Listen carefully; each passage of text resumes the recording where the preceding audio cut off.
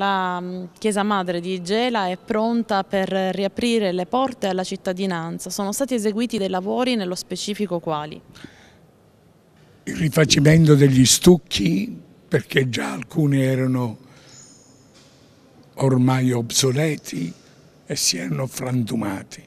E poi la posa della foglia in oro negli stucchi laddove ci sono state delle lacune e dopo la pavimentazione, dopo l'ambone nuovo e dopo tutto questo lavoro, io credo che oggi veramente la città può godere di questo nuovo tempio sacro.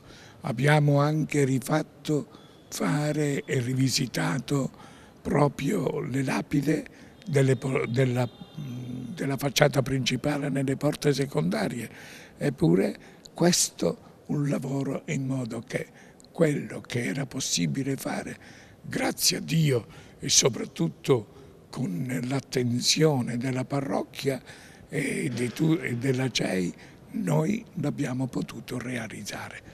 Lodiamo il Signore ed inneggiamo a Maria la felice circostanza della festa della patrona che si avvicina, appunto coincide con questa riapertura. È davvero un momento felice per eh, questa parrocchia, ma soprattutto per tutta la città che aspetta la sua patrona, l'abbraccio con la sua patrona.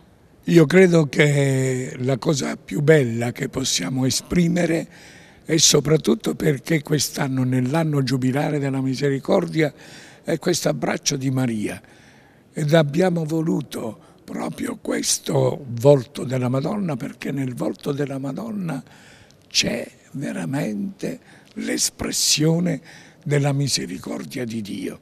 È un volto che si china sul popolo, è un volto che ci mostra sempre il suo figlio Gesù, è il volto che ci viene a dire perché temere.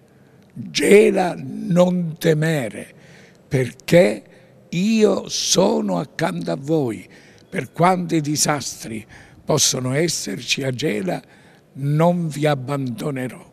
Ogni gelese in questi giorni dovrebbe farsi abbracciare da Maria, guardare occhi negli occhi e cominciare a stringersi a lei per tutti gli affanni che attraversano la città senza andare nelle solite lamentele, ma cercando di poter riprendere fiducia e cercando di poter prendere coraggio perché Dio non si stanca mai di avere misericordia per noi.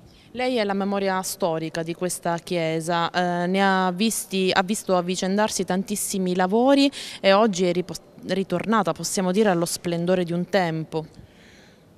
Credo che già siamo arrivati alla conclusione di tutti i lavori cominciati già la bellezza di 30 anni fa, quasi a coronamento di questo mio servizio pastorale qui nella Chiesa Madre e devo dire grazie a Dio che ciò si è potuto realizzare.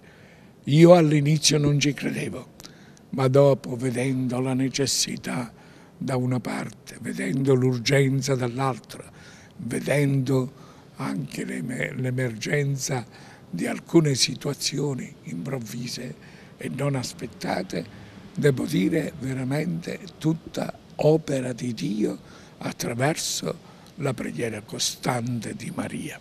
Infine, eh, la sua vita è inscindibilmente legata alle pareti di, di, questa chiesa che è un punto di riferimento per tutti i fedeli della città. Vuole condividere con noi il momento più bello e il momento più triste? Ma il momento più bello è soprattutto questo amore di tanta gente di Gela verso Maria.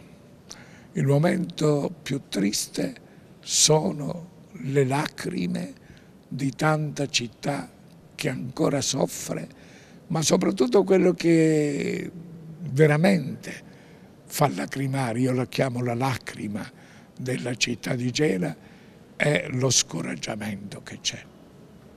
Questo io lo noto nei giovani, lo noto nelle famiglie povere, lo noto nei